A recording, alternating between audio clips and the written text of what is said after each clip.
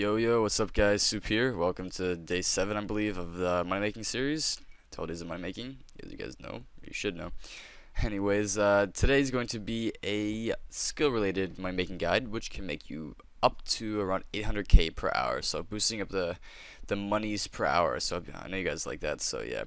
But there is a requirement. You need 63 hunter, and I know hunter's a pain for some people. Um, for some people it's easy, and uh, honestly, it's really good money. Like crazy good money if you get higher level. But yeah, so I'm gonna show you uh, some a nice way to make money here. So basically, you're gonna be catching red chinchompas. Um, red chinchompas have gone up because again, bots even though they're coming back now because I've seen a lot, uh, are mostly gone. So basically, just you know, is you're gonna. Actually, I should probably show you where this bot is. I think this is where the most red chinchompas are. So you're gonna be um uh, south of Feldip Hills, which is right here. You guys should know where that is. Just a walk around to make sure you guys know where everything is. But um, Feldip Hills, you're gonna be at this like lake area right here. You're gonna be uh, was that southwest of the lake, so just in this area right here and you should see these carnivorous chinchompas. That's what it should say on them. Yep. So, um, just gonna lay it. Uh, I'm. See how many I can do. There's two.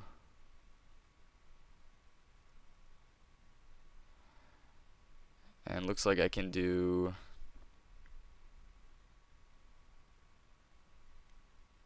Good bit actually. It looks like it. But, um, yeah, I'll do five right now. Or I guess I, oh wait, never mind. But, uh, so yeah, that was pretty fast. So there's one right now.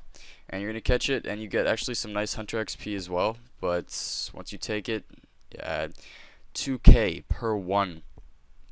So very nice. Uh, and as you can see, they give 265 Hunter experience. So, um, again, very nice money. And let's oh no don't want to dismantle that. Or I do actually. Sorry I'm a noob at hunter.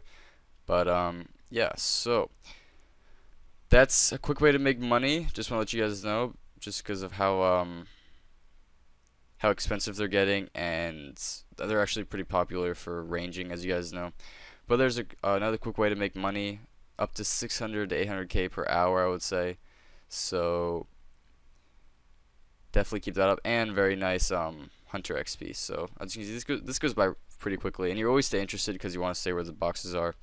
So um, yeah, that's uh, that's my making guide for today. Peace out, guys.